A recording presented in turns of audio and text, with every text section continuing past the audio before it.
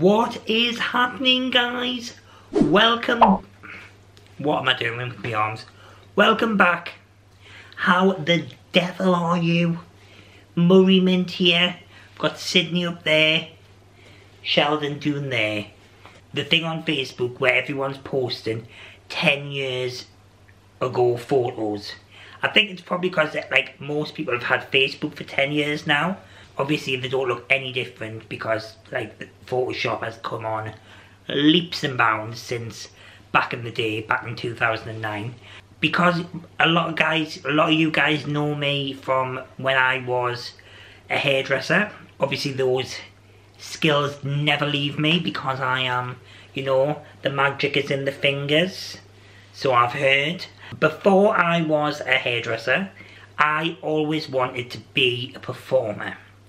I always wanted to be a singer, a dancer, a presenter, work within the arts with creating stuff, you know, making people laugh. So what I've decided to do today um, is show you some old footage of me performing when I was a child.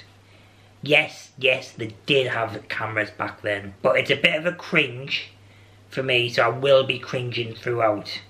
So I do apologise, but um, I was thinking to myself, what would the three things be that I would say to myself about what life was like here? I want to I wanna be all profound, but I'm probably just probably just going to be shy. Just to let you know, Destiny's Child go from 4 to 3. See, obviously. I would probably say that as a child, some people have a little bit of fear, but I think when you go, you get older, that fear becomes a lot more heightened and you start, or should I say, you stop doing things that you probably did when you were younger. Um, I've noticed on a lot of these um, home videos that I was, you know, quite free and quite, I just used to wear t-shirts and just, I, I wouldn't do that now because I would be self-conscious, you know, that sort of thing. I would try and say to myself, try not to be that person you know, that frightened, fearful person. But I think that's easy to say now because it's all a learning journey, isn't it? You don't get to be one place without coming through the last place. So it's all spiritual growth.